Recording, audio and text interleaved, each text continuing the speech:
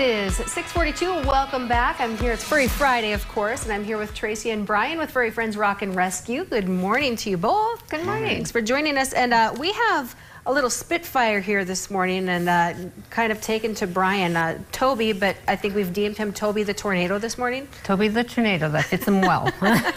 Tell us about Toby. Toby's about between one and two years old. He's very, very active.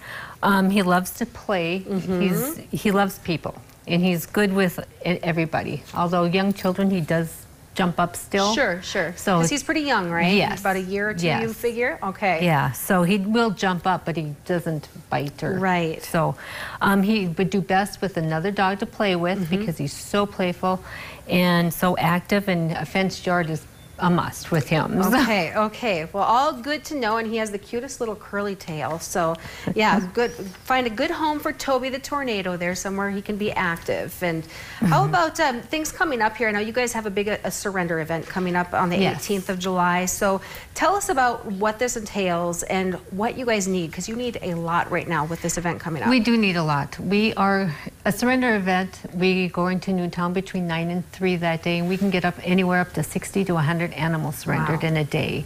So we're asking for any slightly used clean kennels mm -hmm. that we to donate that yep. we can use for this event.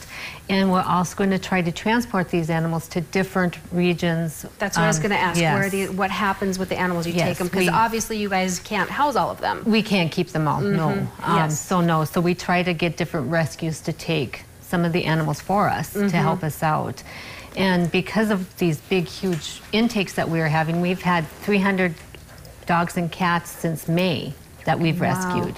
And we have sent some of those out to different rescues as mm -hmm. well. But because we have to cancel our fundraising events, we don't have any funds coming in for yep. those. So it's been very difficult. If we can't get some donations coming in, we're yep. going to have to really and back off And how do people go about donating then, Tracy? They can either go to the site, mm -hmm. um, our website, and there's and we'll donations. have a link for that on our website. Yes, and there's a donation link and where to send donations to okay. if if that would that would be wonderful. Okay, yeah, this is going to be a huge undertaking. Yes. So uh, again, thank you guys for everything you do. And uh, thank you for joining us here today. And Toby the Tornado, hope you find a home very soon. All right, now we're going to take a look, a look, at the weather here, Amber, and uh, probably want to get Toby out for a bathroom break here soon. I would say so. We got a few uh, rain